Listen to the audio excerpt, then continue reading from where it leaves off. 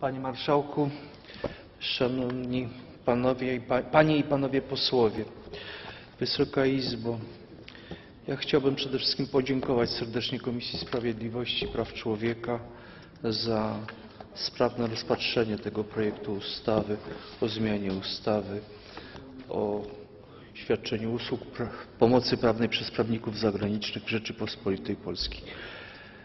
E, Jest to ustawa wykonująca prawo Unii Europejskiej w związku z wejściem Chorwacji do wspólnoty europejskiej.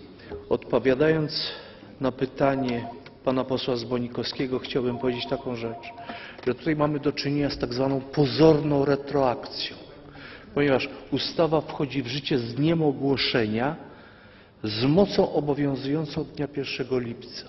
Czyli ona przyznaje określone uprawnienia wstecz. Ale tutaj mamy do czynienia z taką pozorną retroakcją. Nie jest to działanie prawa wstecz, bo obowiązuje, wchodzi w życie z dniem ogłoszenia. Tylko tyle chciałem powiedzieć.